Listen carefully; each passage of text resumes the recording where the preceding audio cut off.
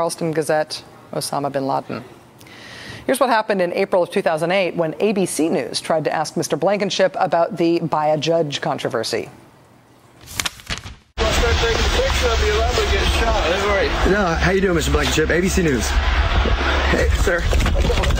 Don't touch my camera. Let me.